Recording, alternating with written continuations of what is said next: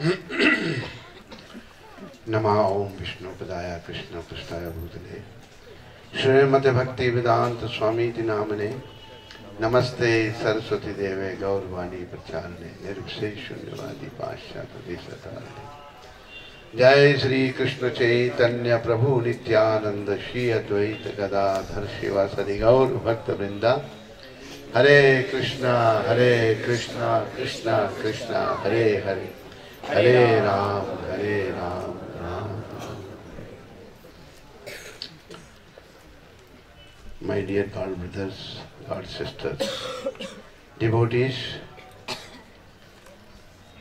you know, so many devotees have joined ISKCON around the world. But Brahmananda was the first one. He told me I had a very long association with him.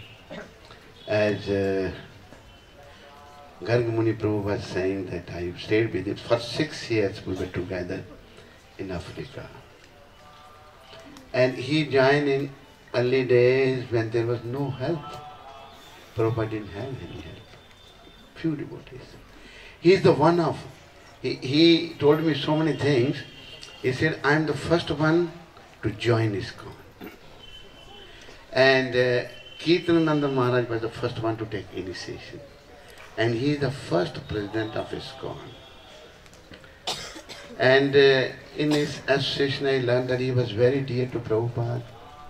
Prabhupada liked him very much. Prabhupada is the founderacharya of ISKCON. But I say that uh, Brahmananda Prabhu was the founder founderacharya of preaching in Africa. He is the one who started preaching in Africa with great difficulties. And now so many Africans have opportunity to become Krishna conscious. Uh, I was there. Then I came, joined Prabhupada as his personal servant. 1975. Then I like to be with Prabhupada, though lot of chastisement from Prabhupada, but still I wanted to be with him. Then devotees started calling from Africa, please come back. They requested Prabhupada send him. So I said, Prabhupada, if you ask me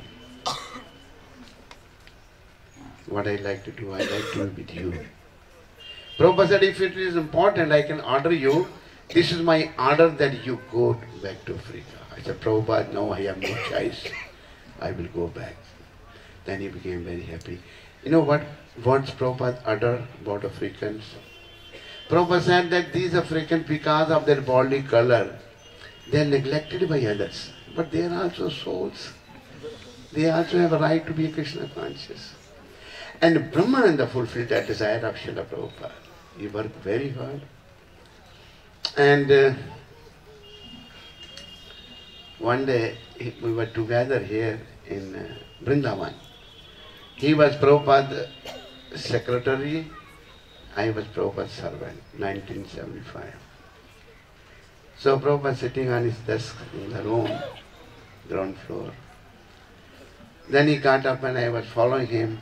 He came to that small room, secretary room, and uh, Prabhupada found that Brahmananda was, you know, what you call, sleeping, he fell asleep.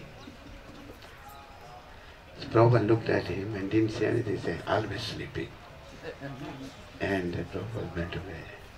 Then when Prabhupada went to his room, I came and told Brahmananda that Prabhupada was here and you were sleeping. So he immediately got on, Prabhupada, uh, you need anything? Prabhupada, I'm sorry that you came and I was sleeping. And uh, Brahmananda said, Prabhupada, this is my parampara. Said, what do you mean by parampara? So my father, when he used to drive car, and when red light will come and he will sleep. and tells me, wake me up when green light will come. so Prabhupada, is my Prabhupada laugh. Prabhupada was laughing, laughing. I know that. So, you know, Brahmananda is very, very special soul, very special devotee. I love him from the core of my heart. And he worked very hard. I, I had a very long association with him. And he is the one who uh, paid money for preaching of TLC, so many things. Am I right, Garnu? $5,000. Those days, $5,000 means something, a very big amount. And in so many ways, and I remember one happening, I was with Prabhupada at that time. These both brothers went to Pakistan, Garg Muni and Brahmananda, is that right? And then there was a news, something killing, so Prabhupada was very worried, very much worried. When they came, Prabhupada embraced both of them. Is that right, Gargamuni? So these devotees, you know, we are really very indebted to them because they are the first one. We join later to assist our Gurudev, who is the savior of the world. There's both brothers, Gargamuni and Brahmananda, you know. They help Prabhupada in so many ways and are giving all kinds of help, all kinds of help. One day, here in Vrindavan, uh, somebody is paying obeisances. I didn't know who he was. When I came closer, he said, Brahmananda Prabhu. So I paid my obeisance. I said, Prabhu, what do you... He said, Prabhupada told me two things. Prabhupada said, Brahmananda, go to interiors. For preaching, go to the interior. Because Brahmananda started from coast. Kenya, you know. Kenya is a coast. And there are 40 countries in African continent. Go to the interior. And second thing, he told me that Prabhupada mentioned, you stay with the Navayogendra. Is that right, Gargamuni? So you, two things he told me, stay with the Navayogendra and go to the interior. And he really did so much job and so much working so hard.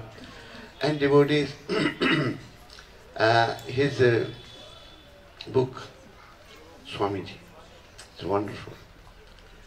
And these devotees, you know, these early devotees, we should worship them because they're the pioneers. In those days, our Gurudev was struggling so hard, but these great souls, they're not ordinary souls, they're great souls. And they came to help Srila Prabhupada in those days when it was very, very, extremely, very difficult. Things were very difficult. Prabhupada didn't have money. Like uh, Jayananda Prabhu, he was such a wonderful soul. He was daytime stay with Prabhupada, nighttime drive taxi, give money to Prabhupada. These wonderful souls are really great. And uh, one thing, when I came to know about Brahmananda's departure from this mortal world, I was really shocked, you know, I felt very bad. I was in that time in Mauritius when I came, when I came to see my godbrother Gargmuni. Uh, then he was telling me when he became sick and uh, Gopal Krishna Maharaj arranged the ambulance to go to Delhi. He said, no, I'm not going to Delhi. See, means see the inside spirit. He didn't leave the Vrindavan. He didn't leave Vrindavan and he stayed here and he left his body here in Vrindavan like Srila Prabhupada uh, in devotees were trying to take him to the west. He went up to London. Said, no, take me back. No, rest of my time I want to spend in Vrindavan. So this shows his, uh, uh, what you call it, greatness and uh, the blessing of Srila Prabhupada to him. He didn't leave, he knew. And uh, one day I used to come and see him sometime. And last time when I met him, I said, Brahmananda, you should get better. And it was, I think, a few months before his departure. So no, I don't want to live anymore. By his talk, he shows that he's, he knew that he's going to leave. I, I don't want to live anymore now. And few months later, he left his body. So certainly they are uh, Prabhupada's eternal associates and uh, he left his body in Vrindavan. He has definitely joined Prabhupada in the Golok Vrindavan. Wherever Prabhupada is, because uh, Prabhupada is always in a preaching mood and saving, savior of the fallen souls, uh, about the fallen souls. Prabhupada was so kind, so merciful. And uh, Prabhupada is coming from a transcendental world, from the spiritual world. And here we are all in the material world, lost in, uh, what you call, uh, different, you know, consciousness. And But these devotees, They appeared in the West, in America, and helping Srila Prabhupada. This is really commendable and wonderful. And uh, my sincere gratitude to Srila Prabhupada who gave us so many wonderful devotees like Brahmananda. And uh, we are, I am especially myself, I am very much thankful to uh, Shriman Brahmananda Prabhu who rendered so much service to this great mission and to this great Acharya Srila Prabhupada to establish this mission. Now so many are there, but those days hardly, very, very, very difficult to find the devotees.